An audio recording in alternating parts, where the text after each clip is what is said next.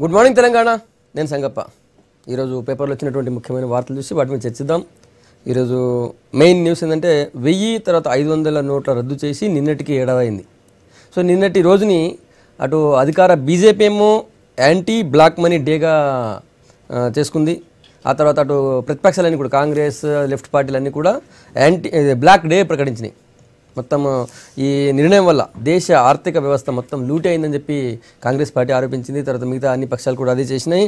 Demonetisation అనేది మొత్తం ఆర్థిక వ్యవస్థను కుంగు కుంటుపడేటట్టు చేయడమే కాకుండా మొత్తం ఉద్యోగాలని పోయినాయి. తర్వాత చాలా పరిశ్రమలు మూతబడ్డాయి చిన్న చిన్న ఫ్యాక్టరీలు మూతబడ్డాయని చెప్పి కాంగ్రెస్ పార్టీ ఆరోపించింది. అయితే డిమానిటైజేషన్ అనేది నూట ఇరవై ఐదు కోట్ల భారతీయులు పోరాడి గెలిచిన యుద్ధం అని చెప్పి ప్రధానమంత్రి నరేంద్ర మోడీ ట్విట్టర్లో స్పందించారు. అంతేకాకుండా అది ఇది యాంటీ బ్లాక్ మనీ డేనే అని చెప్పి ఆయన మరోసారి నేను చెప్పారు. తర్వాత నా నిర్ణయాన్ని ఎవరు సపోర్ట్ చేసే వాళ్ళు ఉంటే నాకు ట్విట్టర్లో ట్విట్టర్లో సపోర్ట్ చేయండి అని చెప్పి ఆయన ఒక సర్వే పెట్టారు. ఆ సర్వేలో సెవెంటీ వన్ పర్సెంట్ ఆయనకు ఫేవర్గా వచ్చిందని చెప్పి పార్టీ చెప్తుంది. ఆ వార్తను అన్ని పేపర్లు కూడా ప్రధానంగా తీసుకున్నాయి. నోట్ల రద్దు నిర్ణయం అనేది భారత ఆర్థిక వ్యవస్థని శుద్ధి చేయడమే కాకుండా దాన్ని ఒక క్రమ క్రమబద్ధీకరించిందని చెప్పి మోడీ అంటున్నారు. అది అన్నిట్లో కూడా మెయిన్ బ్యానర్గా ఉంది. తర్వాత ఇంకో వారు చూసినట్టయితే నిన్న సీఎం కేసీఆర్ అసెంబ్లీలో ఈ పవర్కి సంబంధించి ప్రకటన చేశారు. చీకటి నుంచి వెలుగులోకి రాగలిగినాం. ఈ మూడేళ్ళలో తెలంగాణ సాధించిన వృద్ధి ఏంటి అంటే ఇదే అని చెప్పి సీఎం చెప్పినారు. అన్ని రంగాలకు కూడా ఇరవై నాలుగు గంటల నిరంతర విద్యుత్తు ఇచ్చేందుకు ప్లాన్ చేస్తున్నామని చెప్పి సీఎం అన్నారు. తొంభై నాలుగు వేల కోట్లతో మిగులు విద్యుత్ దిశగా రాష్ట్రం ఉంటుందని చెప్పారు. ఇరవై నాలుగు లక్షల పంప్ సెట్లకి ఇరవై నాలుగు గంటలు ట్వంటీ ఫోర్ అవర్స్ పవర్ ఇస్తే ఇవ్వడానికి ప్లాన్ చేసాం మొన్నటి నుంచే ట్రయల్ స్టార్ట్ అయిందని చెప్పి సీఎం అన్నారు. ఇది ప్రధానంగా ఉన్నటువంటి వార్త. తర్వాత విద్యుత్ శాఖలో పదమూడు వేల మూడు వందల యాభై ఏడు ఉద్యోగాలను కూడా గవర్నమెంట్ ప్రకటించింది. దానికి సంబంధించిన వార్త కూడా ఒకటి ప్రధానంగా ఉంది. ఇంకా ఇంకొక మెయిన్ వార్త చూసినట్టయితే నిన్న మెట్రో రైల్లో గవర్నర్ తర్వాత కేటీఆర్ ఇద్దరు కూడా ట్రయల్ మెట్రో ట్రయల్ రన్ నడుస్తుంది. దానికి సంబంధించి ఆ ట్రయల్ రన్లో వాళ్ళు కూడా పాల్గొని ఆ ట్రై ప్రయాణించారు ఎస్ఆర్ నగర్ నుంచి మియాపూర్ వరకు. ఆ వార్త కూడా ఒకటి ప్రధానంగా ఉంది. ఇవి ముఖ్యంగా ఉన్నటువంటి వార్తలు. తర్వాత కాళేశ్వరం ప్రాజెక్ట్ సంబంధించి గ్రీన్ ట్రిబ్యునల్లో ఉన్నటువంటి ట్రిబ్యునల్ ఇచ్చేటువంటి స్టేని హైకోర్టు ఆపేసింది. పనులు సా కొనసాగించవచ్చు అని చెప్పి హైకోర్టు చెప్పింది. ఆ వార్త కూడా ఒకటి ప్రధానంగా ఉంది. ఇవి ముఖ్యంగా ఉన్నటువంటి వార్తలు. డిమానిటేషన్ గురించి మాట్లాడదాం. వన్ ఇయర్ అయింది. వన్ ఇయర్లో దేశ ఆర్థిక వ్యవస్థ మొత్తం నాశనం చేసినారని చెప్పి కాంగ్రెస్ పార్టీ ఆరోపిస్తుంది. ప్రతిపక్షాలు ఆరోపిస్తున్నాయి.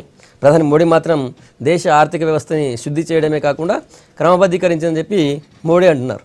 ఆ పాయింట్ తీసుకుందాం. మనతో చర్చలో టీఆర్ఎస్ నుంచి ఎమ్మెల్యే గ్యాదర్ కిషోర్ గారు తర్వాత కాంగ్రెస్ నుంచి చీఫ్ స్పోక్స్ పర్సన్ దాసో శ్రవణ్ గారు తర్వాత బీజేపీ నుంచి రఘునందన్ రావు గారు మనతో ఉన్నారు. శ్రవణ్ గారు నిన్న కాంగ్రెస్తో సహా అన్ని ప్రతిపక్షాలు బ్లాక్ డేగా పాటించినాయి.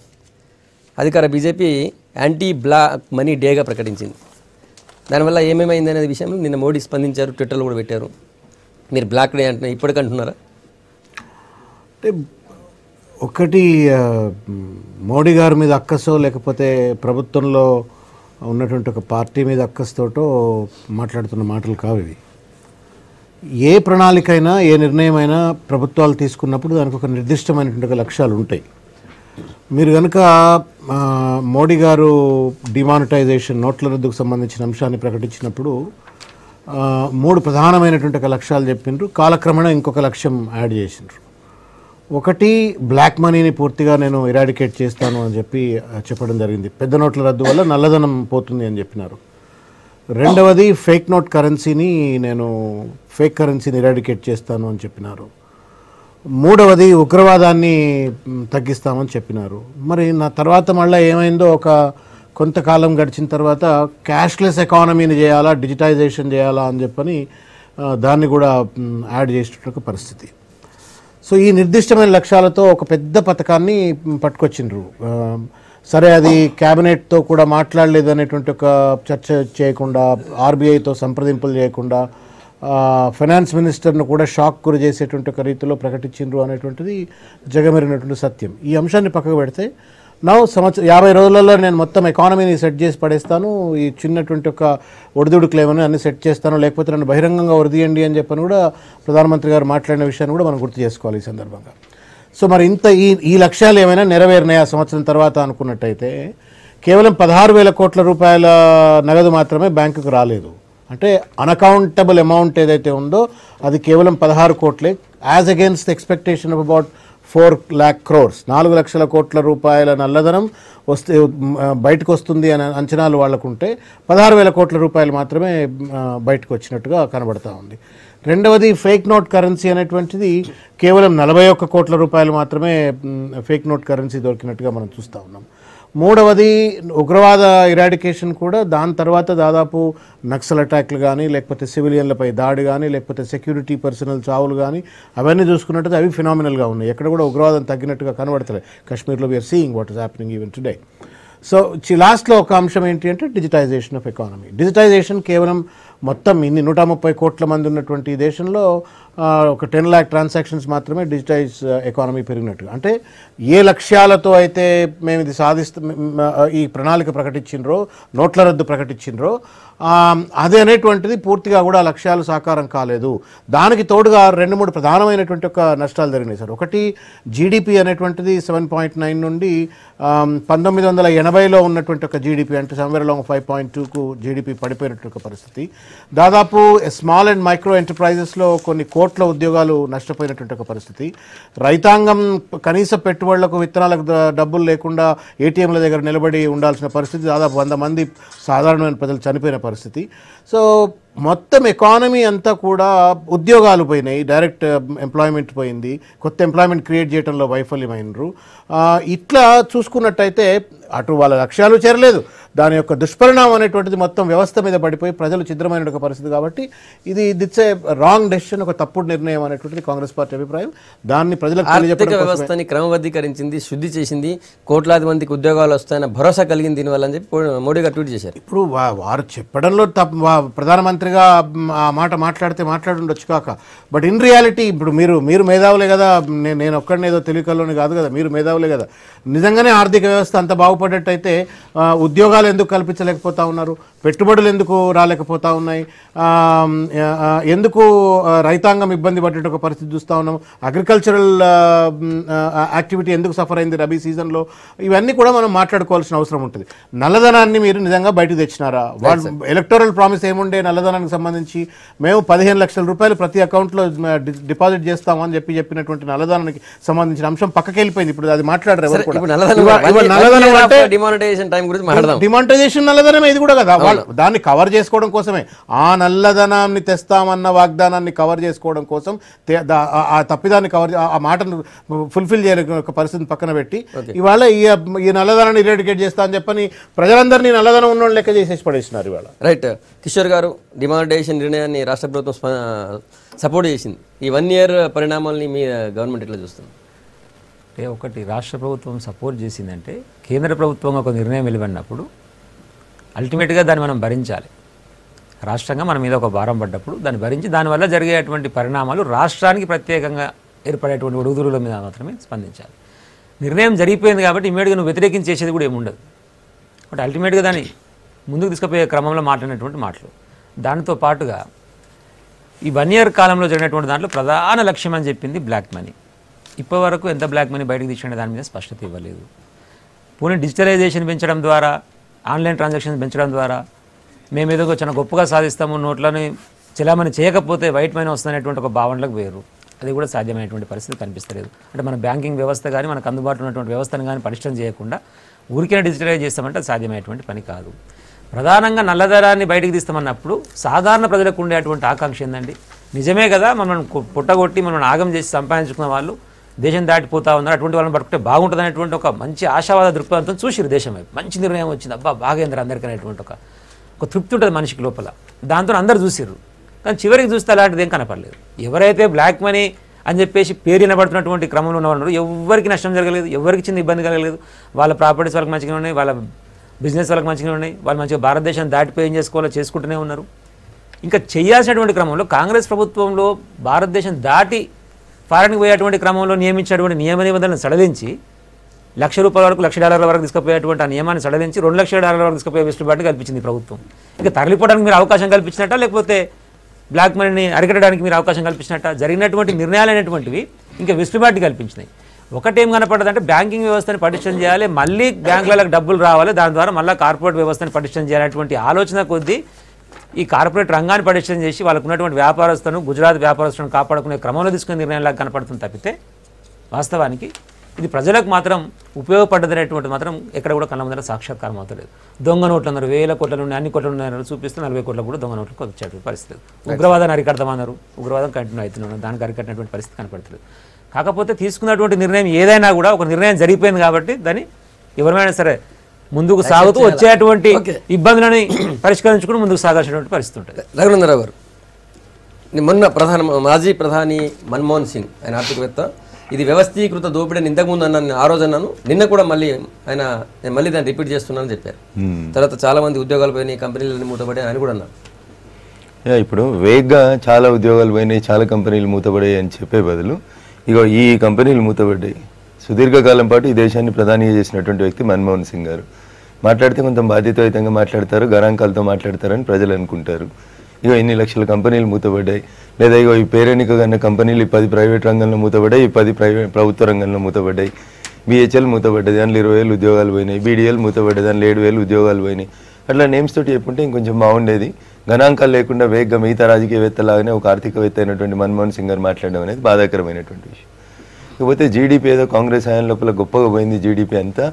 భారతీయ జనతా పార్టీ వచ్చిన తర్వాత జీడిపి మొత్తం నాశనం అయిపోయింది అని చెప్తా ఉన్నారు. వాజ్పేయి గారు కాంగ్రెస్ ప్రభుత్వానికి రెండు వేల నాలుగులో ప్రభుత్వం బదలాయింపోయినప్పుడు కాంగ్రెస్ వాజ్పేయి నుంచి కాంగ్రెస్ గారికి ఇచ్చినప్పుడు జీడిపి రేటు సెవెన్ ఉండే. మీరు దాన్ని నైన్కి తీసుకొచ్చినారు టూ థౌజండ్ ఫోర్ నుంచి టూ థౌజండ్ ఎయిట్ వరకు. Two thousand eight two thousand nine Manmohan Singh garu ప్రధానమంత్రి ఉన్నప్పుడు GDP rate Sangappa garu six point seven two. Two thousand eight two thousand nine financial year six point seven two two thousand eleven twelve four point four seven two thousand twelve and thirteen four point seven four this is the GDP during the great economist Manmohan Singh when was the prime minister of India ఇవి నేను చెప్తున్న గణాంకాలు కాదు? Thirteen fourteen ఎంత అన్నారు. వాళ్ళు seven point two అని చెప్తున్నారు. Sir two thousand eight nine six point seven two two thousand eleven twelve four point four seven two thousand twelve thirteen four point seven four when they given us charge in the year two thousand seven two thousand fourteen it was seven percentage మరి మీరు పరిపాలించినటువంటి ఆ మధ్యలో కూడా రెండోసారి మీరు ప్రధానమంత్రి అయిన తర్వాత మూడు సంవత్సరాలు చెప్పిన నేను. సిక్స్ పాయింట్ సెవెన్ టూ ఉంది ఫోర్ పాయింట్ ఫోర్ సెవెన్ ఉంది ఫోర్ పాయింట్ సెవెన్ ఫోర్ ఉంది. ఇవాళ మీరు పెద్ద నోట్ల రద్దు ప్రకటించిన తర్వాత రెండు శాతం పడిపోతుంది అని చెప్పినటువంటి జీడిపి సెవెన్ పాయింట్ సెవెన్ నుంచి సిక్స్ పాయింట్ ఫైవ్కి వచ్చింది. One percent one point two percentage మాత్రమే పడిపోయింది. సరే అనుకుందాం. అయినప్పటికీ కూడా మీకంటే చాలా మెరుగున్నాం కదా మేము. ఫోర్ పాయింట్ ఫోర్ సెవెన్ ఎక్కడ సార్? సంగప్ప గారు?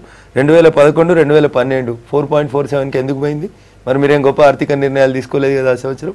ఆ తర్వాత సంవత్సరం twelve thirteen four point seven four పర్సెంటేజ్కి ఎందుకు పడిపోయింది? మీరు చేసినటువంటి తప్పుల కారణాలన్నింటినీ మీరు వెతుక్కోకుండా మీరు ఏ నిర్ణయం తీసుకోలేకుండా దేశంలో లక్షల కోట్ల లూటీ అవుతుంటే ఒక మౌనమునిగా దాన్ని భరించి ఈరోజు వచ్చి ఇంకో లెక్క చెప్తా ఉన్నారు ఇంకొక గణాంకం చెప్తాను నేను మీకు సంగప్ప గారు ఈ దేశం లోపల వాజ్పేయి గారి ప్రభుత్వ హయాం నుంచి మన్మోహన్ సింగ్ గారు ప్రధానమంత్రి అయినప్పుడు టూ థౌజండ్ ఫోర్లో మీరు ప్రధానమంత్రిగా బాధ్యతలు తీసుకున్న రోజు ఈ దేశ ఆర్థిక వ్యవస్థలో చరామణిలో ఉన్నటువంటి ఐదు వందల నోట్లు వెయ్యి రూపాయల నోట్లు. అంటే పెద్ద నోట్ల శాతం ఎంత అంటే కేవలం ముప్పై నాలుగు శాతం మాత్రమే సంగప్ప గారు. అంటే మిగతా అరవై ఆరు శాతం నోట్లు చిన్న నోట్లు ఉండే. పది రూపాయలు ఇరవై రూపాయలు యాభై రూపాయలు వంద రూపాయల నోట్లు ఒక లక్ష రూపాయలు తీసుకుంటే దాంట్లో అరవై ఆరు వేలు చిన్న నోట్లు ఉంటే ముప్పై నాలుగు వేలు మాత్రమే పెద్ద నోట్లు ఉండే. గౌరవనీయులు మన్మోహన్ సింగ్ గారు ప్రధానమంత్రి పదవి నుంచి దిగిపోయినటువంటి రెండు వేల పద్నాలుగుకి వచ్చిన తర్వాత ఈ శాతం ఎనభై ఏడు శాతానికి పెరిగింది సంగప్ప గారు. మార్కెట్లోంచి చిన్న నోట్లని అబ్రప్ట్గా రద్దు చేసిరు మీరు ముప్పై నాలుగు శాతం నుంచి ఎనభై ఏడు శాతానికి మీరు తీసుకొచ్చిరు దాన్ని పెంచిర్రు పెద్ద నోట్లని. ఐదు వందల రూపాయలని వెయ్యి రూపాయల నోట్లు. ఆ, ఏమవుతుంది క్యారింగ్ ఈజీ అవుతుంది కదా రాగానే అని సంగప్పకు డౌట్ రావచ్చు. క్యారింగ్ ఈజీ కావట్లేదు అక్కడ. మీరు చేసినటువంటి గోల్డ్ బిజినెస్లో మీరు చేసినటువంటి రియల్ ఎస్టేట్ రంగం లోపల మీరు రేట్లను సరి అయినటువంటి రీతిలో సవరించకపోవడం వల్ల ఈడ ముప్పై వేల రూపాయలు కార్డు వాల్యూ ఉంటే లక్ష రూపాయలు గజం అమ్ముతున్నప్పుడు మీరు డెబ్బై వేల రూపాయలు బ్లాక్ మార్కెట్ మార్కెట్కి తరలిపోతున్నటువంటి ధనాన్ని అరికట్టడానికి ఏ ఒక్క రకమైనటువంటి చర్య తీసుకోలేదు. రైట్ మీరు ఆరోపించారు అందరూ ఆరోపించినారు అసలు ఏం జరిగింది? ఎక్కడ మీరు ఐడెంటిఫై చేసినారు? Ninety ninety eight point nine percentage of the cash has come down back to the banks కాబట్టి మొత్తం వైట్ అయిపోయింది కదమ్మా అని అడుగుతా ఉన్నారు. ఇరవై ఐదు లక్షల బ్యాంక్ ఖాతాలను ఐడెంటిఫై చేసిరు ఇరవై లక్షల మందికి ఇన్కమ్ ట్యాక్స్ నోటీసులు ఇచ్చారు మూడు లక్షల షెల్ కంపెనీలను గుర్తించారు ఒకటి పాయింట్ ఎనిమిది లక్షల షెల్ కంపెనీల డైరెక్టర్లని షెల్ కంపెనీలను సీజ్ చేసిరు ఇన్వెస్టిగేషన్ స్టార్ట్ అయింది. ఇన్వెస్టిగేషన్లో భాగంగా వాళ్ళకందరికీ ఇప్పటికే నోటీసులు పోయినాయి.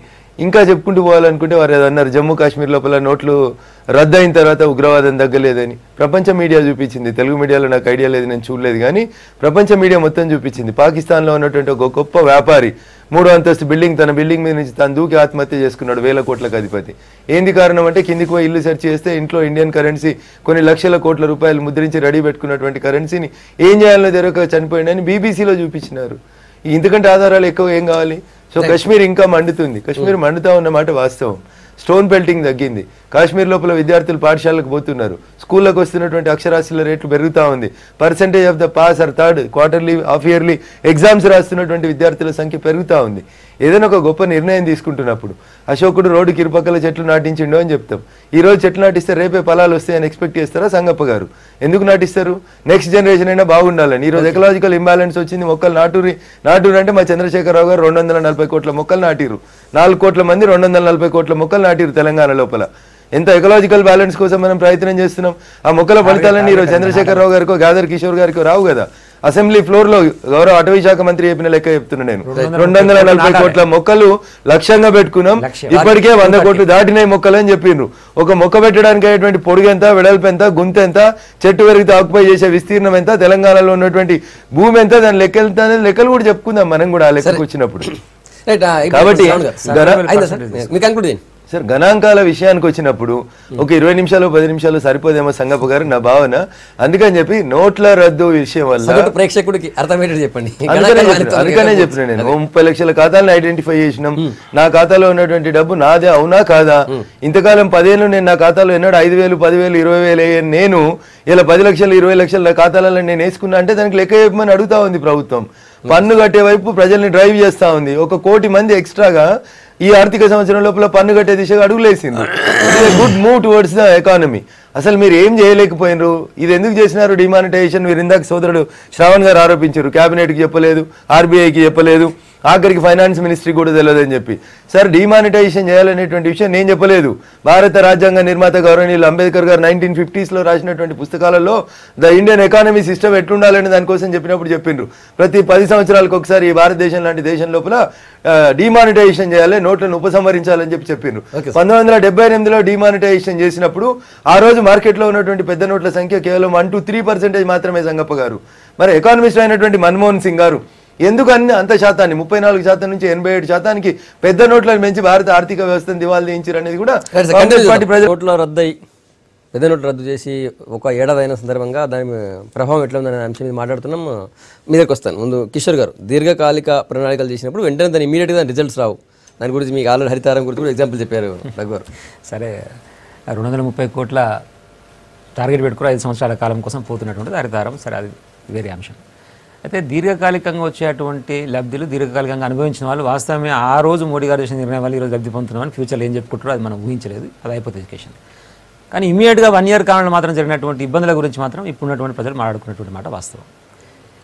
జీడిపి రేటు తర్వాత ఉన్నటువంటి బ్యాంక్ ఖాతాలు బయటపడ్డాయి లేకపోతే ఐటీ కడుతున్నారు గతంలో కట్టకపోయేది ఇదంతా టెక్నికల్గా సంబంధించినటువంటి అంశాలు మాట్లాడడానికి ఇవన్నీ టెక్నికల్గా సంబంధించి జనాలకు సాధారణ జనాలకు అయినా అవసరం లేదు. ఈ రోజు రెగ్యులర్గా జరుగుతున్నటువంటి నా మనగడకు ఏర్పడినటువంటి ఇబ్బందులు ఏంది? దాని తర్వాత జరగాల్సినటువంటి పరిణామాలు ఏంది? అనే దాని మీద మాత్రం ఒక స్పష్టత కావాల్సి ఉంది. ఇట్టగేలకు రద్దు అయిపోయింది వన్ ఇయర్ అయిపోయింది. బ్లాక్ డే అని చెప్పేసి ఒకరు యాంటీ బ్లాక్ డే అని చెప్పేసి ఒకరు అంటున్నారు.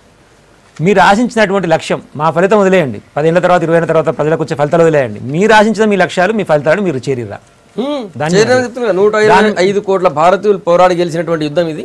ఎవరి మీద పోరాడారు? క్రమ ఆర్థిక వ్యవస్థ క్రమబద్ధీకరణ క్రమబద్ధీకరణ జరిగింది శుద్ధి అయింది అంటున్నారు. మీరు పెట్టినటువంటి మొత్తం భారతదేశంలో మనుగడలో ఉన్నటువంటి మనకు అవకాశం ఉన్నటువంటి అమౌంట్ ఎంత అసలు? మీకు రిటర్న్ వచ్చినటువంటి అమౌంట్ ఎంత? దాంట్లో బ్లాక్ మనీ ఎంత? దాంట్లో దొంగ నోట్లు ఎంత? చిలామణిలోకి ఉన్నటువంటి అవకాశం ఉన్నటువంటి అమౌంట్స్ ఎంత? పోనీ చిన్న పెద్ద నోట్ రద్దు చేసి రెండు వేల నోట్ ఎందుకు ఇచ్చారండి మరి? అది పెద్దది కదా? అంటే అది వెయ్యి కంటే ఐదు వందల కంటే చిన్నది అది? మళ్ళీ రెండు వందల రూపాయల నోట్ మళ్ళీ కొత్త తయారు చేసి ఈ మధ్య నేను ఇంకా నా- నా పర్సలకు అయితే ఇంకా రాలేదు కానీ నిన్న మనం నేను చూసిన నేను ఒక్కడ అది మళ్ళీ రిలీజ్ చేశారు కదండి. మరి అవి ఎందుకు ఇచ్చారు డిజిటలైజేషన్ దిగ్గానే పోవాలనుకున్నప్పుడు మొత్తానికి మరి పెద్ద నోటు రద్దు పక్కకు పెట్టేసినప్పుడు దాన్ని వదిలేసి ఓన్లీ మరి వంద రూపాయల నుంచి కిందకే ఉండాల్సింది కదా. రైట్ అంటే నీ లక్ష్యం కరెక్ట్ అయినప్పుడు మళ్ళీ ఇవి ఎందుకు వచ్చినాయి? కొత్త ఎందుకు తయారైనాయి? ఓకే. వాళ్ళు తలబడ్డారు అంతే కదా. రైట్ శ్రవణ్ గారు మాట్లాడేది? తర్వాత గారు. ఇప్పుడు ప్రముఖ మేధావులు రఘునందన్ రావు గారు ఇదే గ్రేట్ ఇంటలెక్చువల్ మాటను కింద మీద చేయగలుగుతారు మీద కింద చేయగలుగుతారు. ఇష్యూ ఏంటంటే నేను చాలా స్ట్రైట్గా చెప్పాను. నల్లధనం ఎలక్టోరల్ ప్రామిస్ ఆఫ్ మోడీ ఎన్నికలలో పెద్ద ఎత్తున మాట్లాడారు ఏమనంటే ప్రతి భారతీయ పౌరుడి యొక్క అకౌంట్లో పదిహేను లక్షల రూపాయల నల్లధనం నేను స్విస్ బ్యాంక్ తీసుకొచ్చేస్తా తీసుకొచ్చి చేస్తా అని చెప్పి చెప్పిండ్రు. ఆ నల్లధనం పంచాయతీ పోయింది. ఆ నల్లధనం లక్షల ఇరవై ముప్పై లక్షల కోట్ల రూపాయలు ఇదంతా తీసుకొచ్చి నేను ప్రతి ఒక్కరికి పదిహేను లక్షలు నేను ఇచ్చేస్తాను. మీ అందరి అకౌంట్లు మిమ్మల్ని అందరినీ ధనవంతులు చేస్తా అని చెప్పిండ్రు. నల్లధనం చేస్తాన్నారు మరి ఆ కథ ఏమైందో ఇంతవరకు ఎవరికి తెలియదు కొత్తగా మాత్రం భారతదేశంలోనే చాలా మంది నూట ముప్పై కోట్ల మంది ప్రజల్లో మొత్తం అంతా నల్లధనం ఉన్నవాళ్ళే ఉన్నారు ఈ ప్రజలని చెప్పని వీళ్ళ మీద దాడి ఈరోజు డిమానిటైజేషన్తో చేసినారు. మీరు కొండందొమ్మ ఎలుకను పట్టినట్టుగా ఇవాళ మీరు కేవలం పదహారు వేల కోట్ల నల్లధనం అంటే ఏంటి? అన్అకౌంటబుల్ అమౌంట్ అంటే ట్యాక్స్ కట్టకుండా వాళ్ళ దగ్గర ఉన్నటువంటి ఒక డబ్బు అది. ట్యాక్స్ కట్టకుండా డబ్బు ఉన్నటువంటి వాడు మొత్తం ఏమైనా పరుపులలో డబ్బులు పెట్టుకొని పెట్టుకుంటాడు. ఏమైనా చెదలు బాగా తగలబడ్డది ఎక్కడ చూసినా కానీ. చెదలు తినిపోతుంది. వాడు భూమి అన్న కొంటాడు. లేకపోతే బంగాళాలన్న కొంటాడు లేకపోతే బంగారం అన్న కొంటాడు. ఈ భూమిని బంగాళాలను బంగారాన్ని ఏమి ముట్టుకోకుండా కేవలం నేను నల్లధనాన్ని అరికడతా నోట్ల రద్దు అని చెప్పానంటే కేవలం పదహారు వేల కోట్ల రూపాయలు మాత్రమే వాళ్ళకు దొరికినట్టుగా పరిస్థితి. మీరు చూడండి పదహారు వేల కోట్ల రూపాయల నల్లధనం సోకాల్డ్ అన్అకౌంటబుల్ అమౌంట్ను పట్టుకోవడం కోసము వీళ్ళు ఖర్చు పెట్టిన మొత్తం డైరెక్ట్ కనుక చూసినట్టయితే కొత్త నోట్ల ముద్రణకు దాదాపు పదివేల కోట్ల రూపాయలు కొత్త నోట్ల ముద్రణ ఖర్చు పెట్టినారు. ఆర్బీఐ ఈ ఒక్క సంవత్సర కాలంలో ఆర్బీఐ నష్టం ఎంతనయా అంటే దాదాపు అరవై అరవై ఏడు వేల అరవై అరవై మూడు వేల కోట్లు ఉన్నటువంటి ఒక profitability has come down by thirty thousand crores అంటే దాదాపు ముప్పై వేల కోట్ల రూపాయల నష్టం. ఆర్బీఐకే నష్టం జరిగింది. పక్క మిగతా సెక్టర్స్ అంశాన్ని పక్కన పెట్టినట్టయితే. ఇది ఇది ఇది స్ట్రైట్గా కనబడుతున్నటువంటిది. కొండంద ఎలుకని కనబట్టినట్టు అనమాట లేదు ఎక్కడో ఒక దగ్గర బ్లాక్ మనీ ఉంటే ఇంట్లో ఈగలు దోరినాయి కదా అని చెప్పని ఇల్లంతా తగలబెట్టుకున్నట్టుగా ఈరోజు భారతదేశ ఆర్థిక వ్యవస్థను అంతా కూడా చిద్రం చేసిన పరిస్థితి. సరే మన్మోహన్ సింగ్ గారు అంటే వారి పార్టీకి సంబంధించిన వాళ్ళు గారు కాబట్టి వాళ్ళు ఏమైనా అనొచ్చు. మరి యశ్వంత్ సిన్హా ఏమంటారు? తలకాయ లేదా ఆయనకు కూడా? అరుణ్ షౌరి తలకాయ లేదు. Great intellectual scholar Arun Shourie the great scholar Yashwant Sinha was successful the finance minister మీ వాళ్ళే కదా వాళ్ళే అన్నారు కదా. మరి వాళ్ళు కూడా తలకాయలు లేవు మెదడు లేవు వాళ్ళకు కూడా వేక్ స్టేట్మెంట్లేనా ఇవాళ ఆర్బీఐ రిపోర్ట్స్ చెప్తా ఉన్నాయి. చాలా క్లియర్గా ఆర్బీఐ స్టడీస్ తర్వాత ఆల్ ఇండియా మ్యానుఫ్యాక్చరింగ్ ఆర్గనైజేషన్స్ వాళ్ళ రిపోర్ట్స్ చెప్తా ఉన్నాయి. దాదాపు thirty to thirty five percent of the loss in terms of the revenues of the small and medium enterprises ఇవన్నీ కూడా ఏంటి? ఉద్యోగ చాలా ఉద్యోగాలు ప్రభుత్వాల్లో లేవు.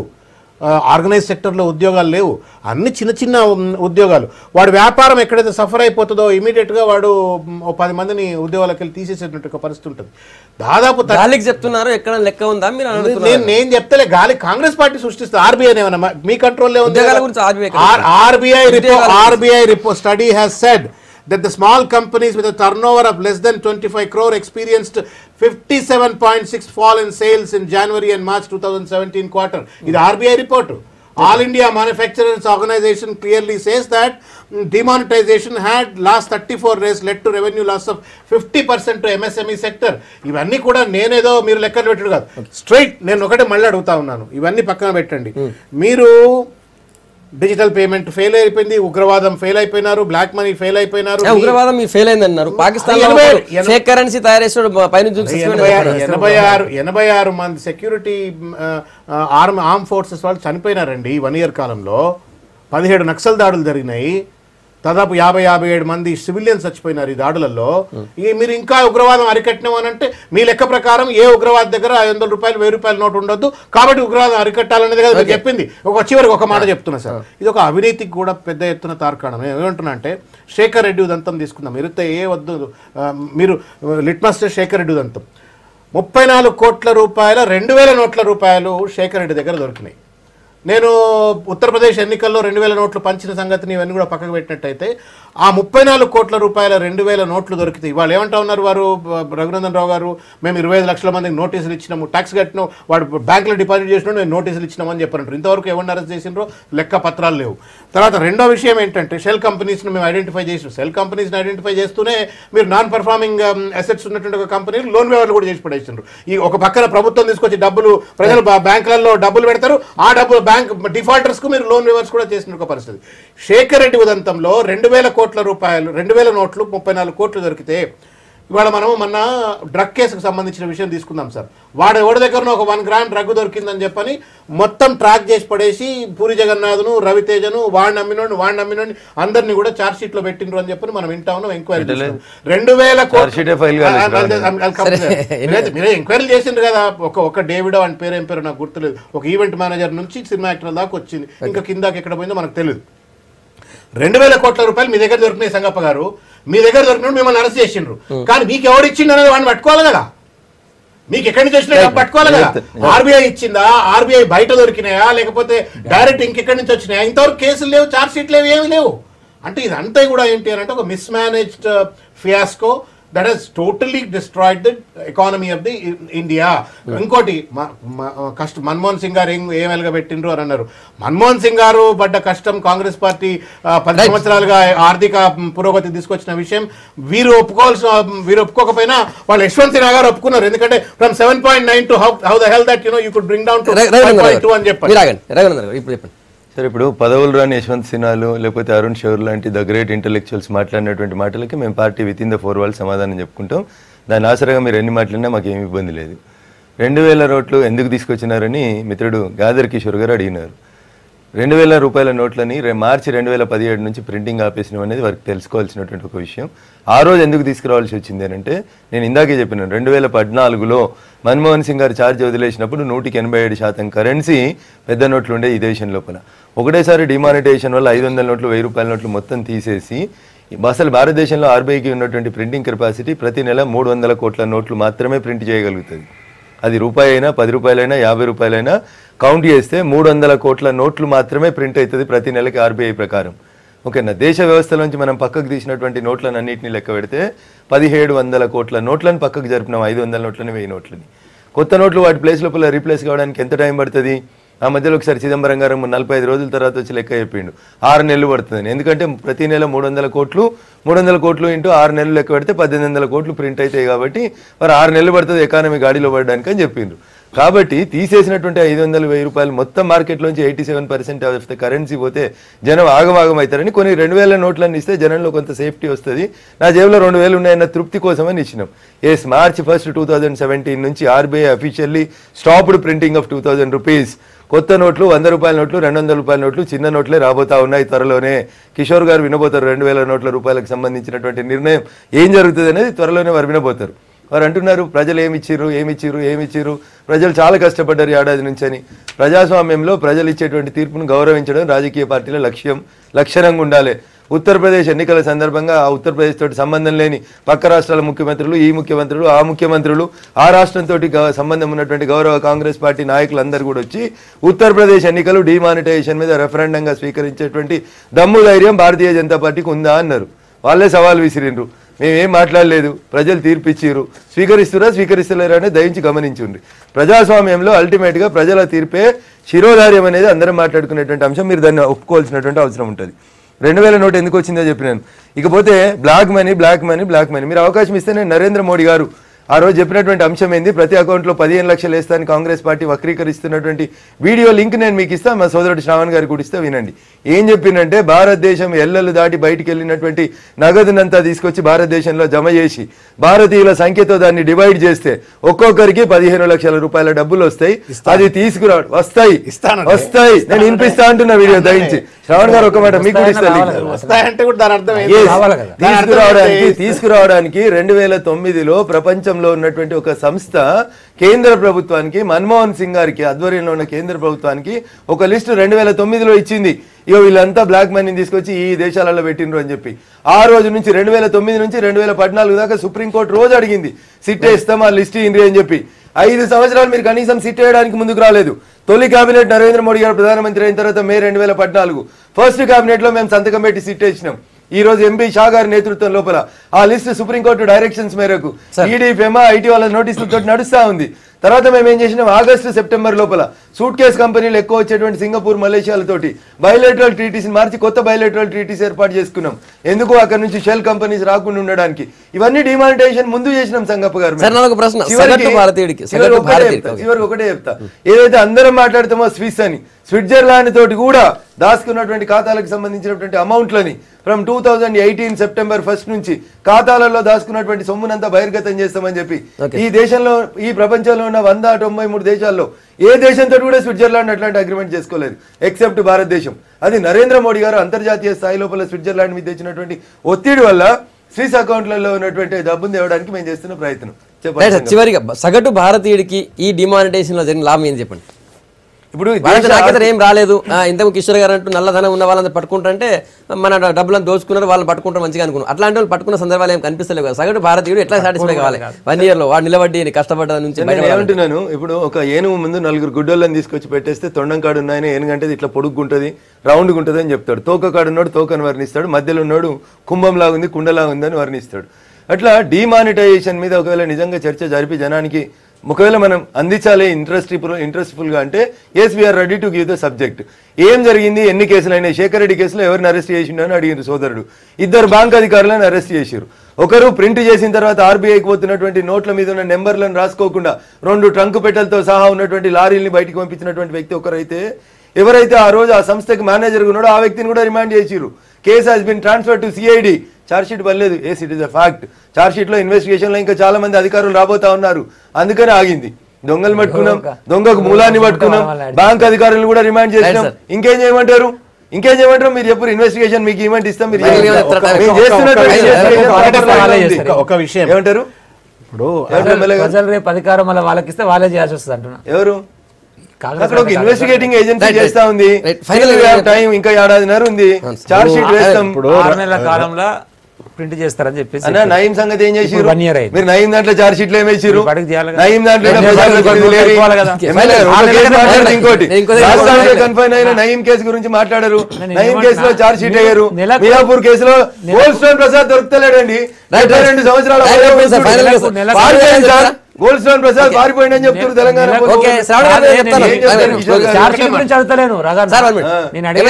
వందల కోట్ల రూపాయలు ప్రింటింగ్ అయితే మేము గారు వేస్తామే ఏమన్నారంటే నలుగురు గుడ్డోళ్ళని తీసుకొచ్చి ఏనుగు బొమ్మ ఏనుగు ఎట్లుంది అని అంటే రకరకాలు చెప్తారు. ప్రజలు గుడ్డోలు గారు. నూట ముప్పై కోట్ల మంది రెండు మా వస్తున్నా ఓట్లన్నీ ఓట్లు నోట్ల కట్టలతో కూడా ఓట్లు వేసే సమాజం ఏర్పడింది ఇవాళ? సరే మీరు మీరు ఎట్లా గెలిచింది? మా- వాళ్ళు అట్లా నిజంగానే నోట్ల కట్టలు పంచే తెలివి ఉంటే ఇవాళ ఇవాళ మీరు అధికారులకే వచ్చి ఉండేవాళ్ళు గారు.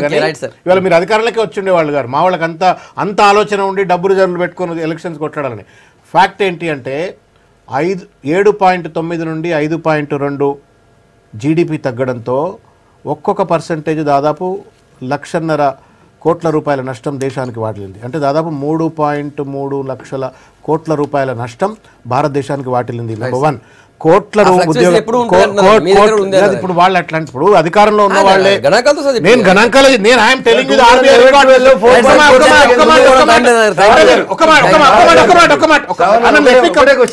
అడుగుతున్నాను ఒకటే క్వశ్చన్ నేను చెప్తున్నా. టూ థౌసండ్ లెవెన్ ట్వెల్వ్లో మీరు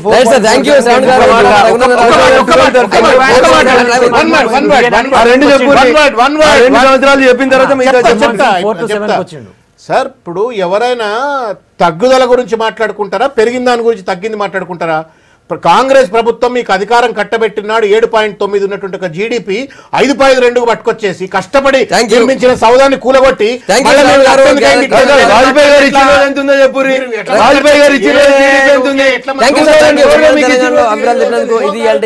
గుడ్ మార్నింగ్ తెలంగాణ అందరికి ధన్యవాదాలు స్టేట్.